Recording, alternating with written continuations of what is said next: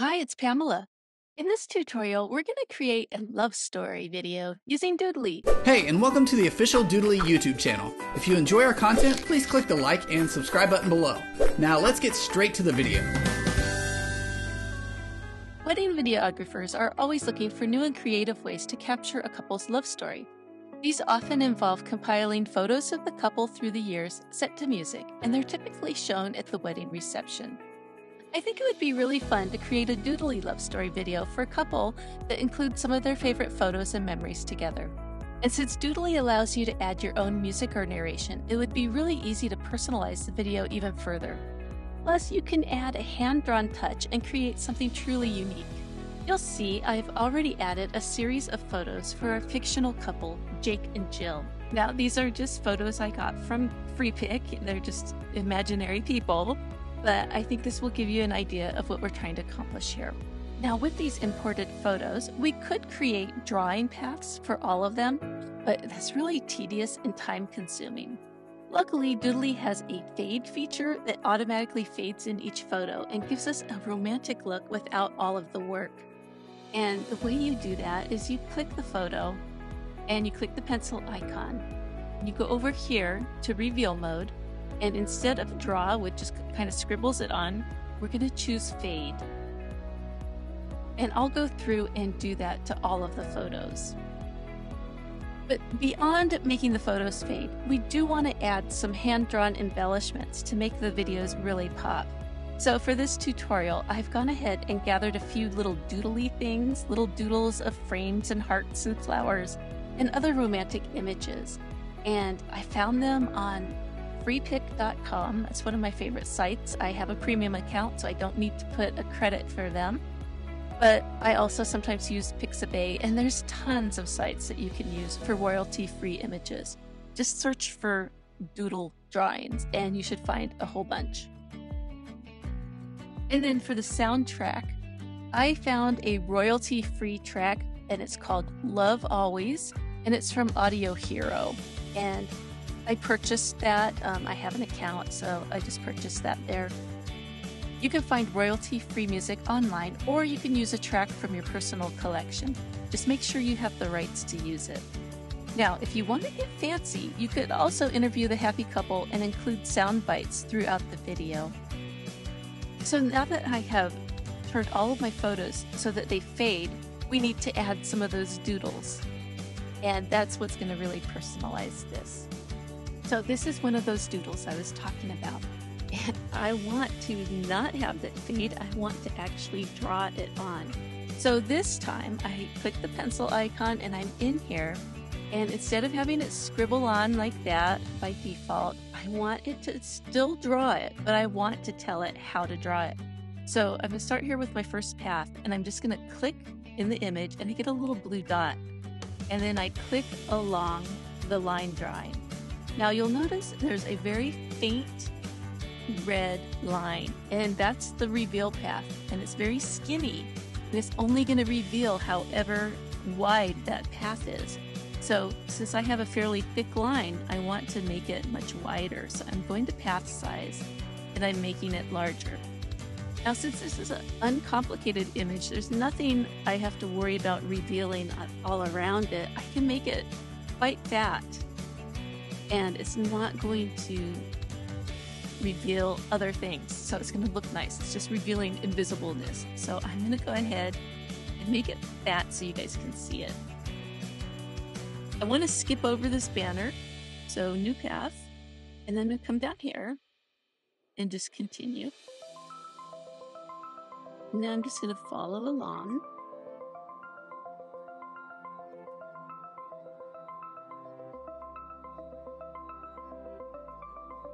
Okay, so I now have my little doodle heart. Let's put their the couple's name. Jake and Jill.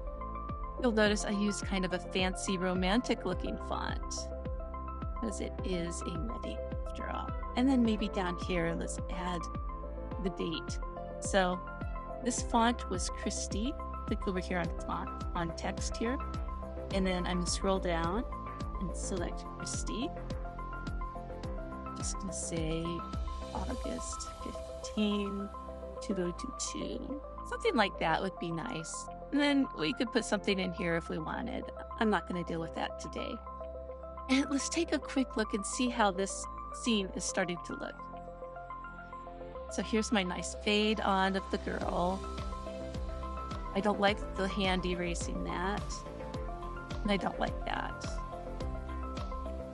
But everything else is fine. So that hand erasing is a personal preference if you like it or not. Go over here to settings. I'm gonna turn it off. So it's right here, erase mode. It's smart mode by default. Well, I'm turning it off. And while we're here, we could change the hand. I think this sweatered hand is a little too casual for a wedding. So maybe this nice black dress shirt would look good. Or if you want a female hand, you could choose a different one. But I think for our purposes, that's going to look nice. And now let's take a look. I do like the slow fade for this because remember it's going to be romantic and I have flowing music and that'll be fine and that looks just great. And then it's just going to continue on with some more photos. Now, let's go over here and add some more of those embellishments. Now, here's my little folder of the little love story doodles that I had downloaded earlier. And what I want to do is upload those into Doodly. So let's go over to the props tab, click the little blue plus sign, and then we're just going to drag and drop them. So I'm going to select them all and drag and drop them into Doodly. So here they are. You'll notice they all start with the word love story, and that just makes it a little easier for me to find them. So I like this heart, or maybe this heart. This one we could put it here like we did kind of with that other one in the center. I think that's to be pretty. This one is to fade on. And I'm not going to have this be a big, long three second fade. I'm going to make it fairly fast. So if we preview just this scene, here's our little girl, our little boy, and then our heart comes on.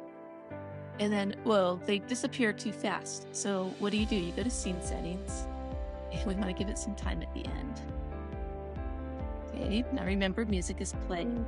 I think this this also needs some scene settings time. Should be fine. And we'll do that to all of the scenes. Now this one, what do we want to use here? Well, she's looking at a little snail and I downloaded a little snail. Thought that would be kind of cute, but little snail somewhere here. Put a star over here for a boy. And this time I'm going to do some drawing. So it's the same process.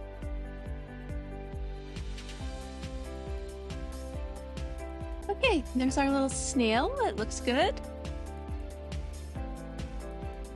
Something like that. Looks kind of cute. These I think we will have fade on. Again, we want some time at the end. Where people are going to want to go, ooh, ah, oh, they're so cute, and whatnot. And if you have any funny photos, you want time for them to laugh.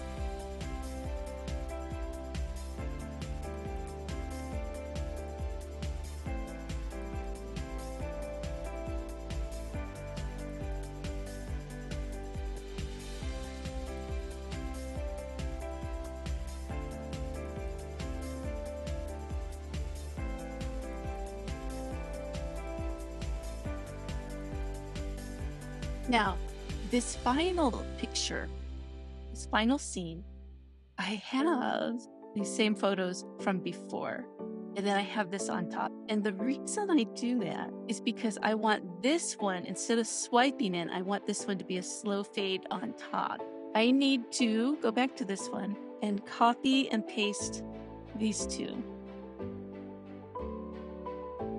into this scene. And I'll show you in a minute why put them behind that so they're covered. And notice how the ones before they have a zero duration. Well, these need to also have a zero duration. basically we are making an identical scene so it just looks seamless. This one, if I go to scene settings, I am going to put a little bit of time so we can see it like before. But instead of having it swipe, I'm taking it away. Nothing's going to happen. It's just going to switch to this scene. And we're not going to see this photo yet. We're just going to see the identical thing that we saw. And then this photo, when we're ready, is going to fade on. So I'm going to give it like a delay of one second. And then it's going to fade on. So if we just preview this scene, there's our fade. Okay. And then this is our last scene. So let's give it like 20 seconds at the end. Let's add our engagement rings. And let's change its color to white. And I like that. So finally, let's add our music track. We go to sounds, and since I got this from an external site, I need to upload it. So I'm going to go to the blue plus sign, and then I'm just going to browse for my files. Love Always, that's my song, MP3, and I'm just going to drag it over. Continue. Here it is. Now you'll notice it's three minutes and 18 seconds, and my video is like two minutes long. So I'm gonna go to the beginning here of my scene and drag it into place. And I'm gonna scroll over to the end, and it's way too long as expected. So, a couple things I could do. I could either shrink this down and then fade it out, or I could go the opposite way. And today I'm going to go the opposite way because I like that long, slow fade out of the music. So I'm just going to drag this over. Let's see how many more seconds. Oh, I got a long ways to go. So just to keep dragging to shorten this front end. And then I'm to move it down. It is a little tedious, I know, and that ends perfectly. That's exactly where I want it to end. So I'm just gonna tighten that up. That way it'll have a nice, nice, really pretty fade at the end. And over here at the beginning, I don't want it just blaring on. I want it to fade in. So I right click and I choose fade in. And I'm gonna make it like a five second long fade in. I think that'll be good. Just from experience, I know these music tracks come in really loud. So if I click this little speaker icon, I can turn it down quite a bit. I'm going to go 50% because I do not have a voiceover. If I had a voiceover, I'd go down way down, 10% or so. So let's take a quick look and then we will be done.